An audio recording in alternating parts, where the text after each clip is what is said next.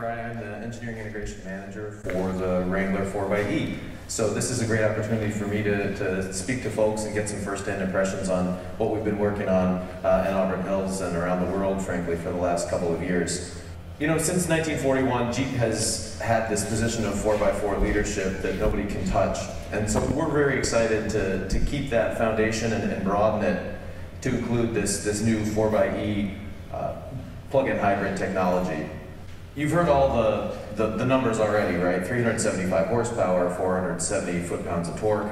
You know, it's 21 miles of electric range, 49 mpge. Those are, those are good numbers, but let's talk a little bit about the, the hardware and the software behind all of that. So I'll start behind me here, obviously. This is a, a naked 4xE. Starts with the engine. So this is the 2-liter GME-T4 turbocharged direct injected four-cylinder engine. We've been putting this in Wrangler since 2018. It's tried and tested, and to be honest, it's not very much changed for this application, the gas engine that is. What is different is the high voltage system. So the first high voltage component is at the front of the engine. I'll point it out to you a little bit later on today, but that's what we call the P1 motor. And building on the e-torque belt starter generator system that we've been selling for several years in Wrangler already, this is a high voltage device that basically replaces the starter and alternator functions of a conventional Wrangler.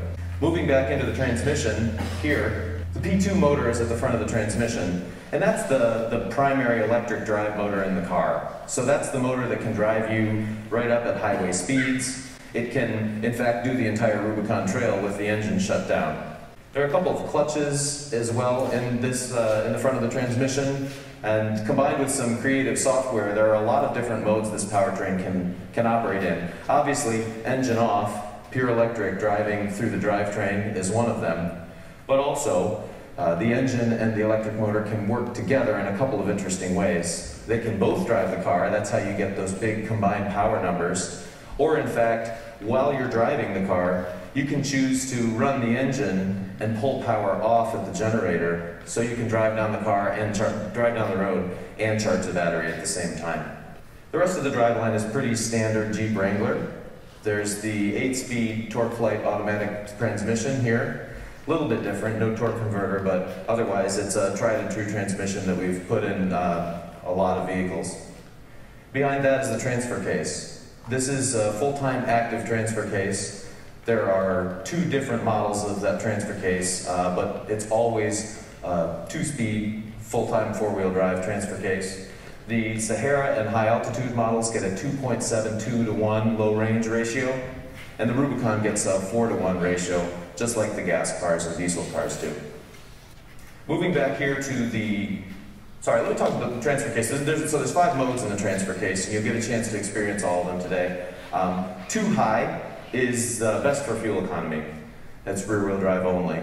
Four high automatic, that's your set it and forget it mode. You'll get the best acceleration performance in that mode. And then of course, if you shift over to the right-hand side of the gate, that's where your off-road modes are. So four-wheel drive lock, both high range and low range ratios. Underneath the rear seat, inside the cabin of the vehicle, is the big battery. So this is 17 kilowatt hour lithium ion battery.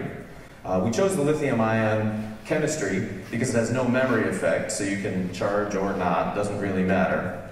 And also because it has a pretty wide operating envelope. So what that means is uh, can operate cold, warm, charge, discharge, doesn't really care very much. Now that said though, the battery does like similar temperatures to, to the rest of us, about 70 to 100 Fahrenheit. And therefore, in order to guarantee that, we've got a dedicated cooling and heating circuit to keep that battery uh, at its operating temperature for the best range. A couple other things about the vehicle. Uh, it was necessary to make pretty extensive changes uh, to both the body and the chassis to accommodate this system. But while doing that, the engineers paid very special attention to classic Wrangler numbers like approach angle, departure angle, breakover angle, ground clearance, in order to guarantee that the Jeepness remains, and in fact, is improved by the electric powertrain. The real great thing about the electric powertrain is it actually has served to uh, lower and bring backwards the center of gravity, which helps us for our on-road steering, ride, and handling performance. Let's talk about charging time briefly. Using the included level 1 charge cord, The Jeep charges in about 12 and a half hours, assuming you have good current available at the wall. If you wanted to use a level 2 charging uh, apparatus, or EVSE we call it, then that'll be about two and a half hours. Now you find those charging stations at, in public, maybe in a park or at your employer, and some people choose to install one of those in their house. Let's move over here to uh, fully built vehicles. We can talk a little bit more about some of the features. Obviously, Jim mentioned uh, standard wheels and tires, the blue accents. I won't review that, but a couple points here. Uh, locking fuel door is new for the 4xE application. That's uh, powder-coated aluminum which matches the charge port door here. It's a really nice feel. Take a, take a look at that. You'll also notice while you're driving a standard pedestrian alert system. Now this is uh, something that a lot of electric cars have dabbled in and you're going to see it more and more in the future. So when you're driving the car and the engine's off, below 20 miles an hour you'll hear a, a rushing sound. And that's basically intended to warn either uh, yeah, distracted pedestrians or, or maybe uh, pedestrians you know, who, are visually impaired or something like that, that there's a very quiet vehicle approaching. Now when you get into the vehicle, the first thing you'll see here is the E-Select drive mode selector. So there are three buttons here, hybrid, electric, and E-Save. I'll talk a little bit about how those work and when you might use them. The hybrid mode, uh, in the hybrid mode, the Jeep knows that an electric mile is less expensive than a gas-powered mile. And therefore, if you have both to choose from, the default performance is to first deplete the battery before then seamlessly transitioning to gas engine on hybrid operation. And that's what the hybrid mode does. If you want to drive with the engine off, you press the electric button, and that will keep the engine off unless you really need it on. Like for example, if you step to wide open throttle acceleration, or if you're driving faster than highway speeds, the engine will start automatically to, to help you get what you're asking for. And the third mode is e-save. This is kind of an interesting one. Let's say you're taking a highway drive out to an off-road trail and you want to do some electric off-roading when you get there. That's what you use e-save for. It'll make the car a hybrid right now and not bring down that battery, those battery miles yet. In fact, matter of fact, you can actually configure in the radio screen, you can configure that mode to not only hold the battery where it's at, but also recharge it slowly while you drive down the road. Pretty neat feature. A couple other things you'll see on the inside of the vehicle. The instrument cluster is new. You saw it on the way over here. The left binnacle is the analog tachometer. Now that tachometer only shows you the engine speed, not the electric motor speed. So if you're driving down the road and the tachometer is at zero, it's, it's off-putting at first, but then you realize, oh, that's because the engine's not running. That's a good signal that that's what's happening. On the right-hand side of the instrument cluster is a charge and power gauge. And you probably saw it on the way over here. Up means you're driving the car, down means you're regenerating or recuperating energy back into the high voltage battery. One other feature I want to call your attention to is max regen. There's a, a button down near the volume knob in the radio, and that's, uh, that turns on this max regen feature. It's got a blue icon. Check it out on the road and, and even off-road too. What that feature does is it remaps the accelerator pedal, so at zero or low accelerator pedal positions, the car will actually apply the regen brakes and slow the car down. This allows a driver to keep their foot on one single pedal. A lot of companies call this one pedal drive. When you pull up to a stop sign, approaching traffic, and it's a, it's a great driver aid that a lot of battery electric cars have implemented a similar thing. It's pretty unusual in a plug-in hybrid, especially one with a step gear transmission like this, but we're, we're pretty happy with the way it works. Let's talk about charging for just one moment. You can see the battery charge indicator on top of the instrument panel. This is something that allows you, at a glance, 360 degrees around the car, to quickly visually say, is my battery charged yet? Looks like almost ready to go. There's also a feature called scheduled charging that's available in the radio screen as well in the, in the eHybrid app that you'll see on the screen.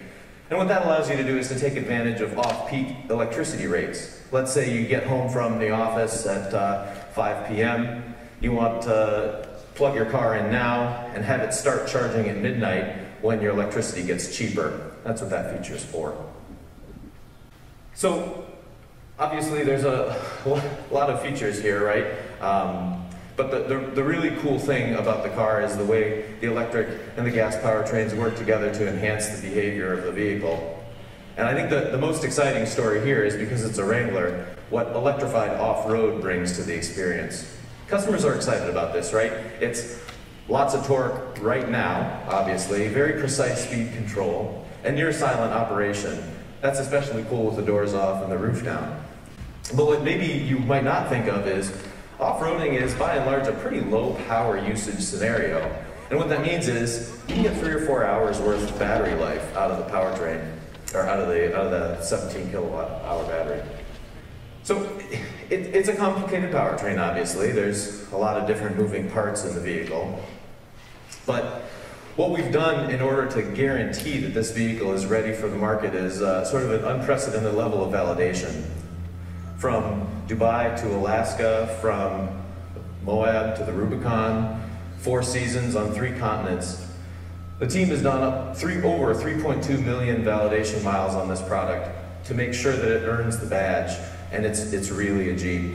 And for me, the most rewarding part of this project has been taking that, that know-how that we've gained in the company from other plug-in hybrids and then the off-road chops of a Wrangler and, and allowing our customers to combine yeah, the, the economic and the ecological benefits of a plug-in hybrid with the open air freedom, freedom machine Wrangler uh, experience that's so important.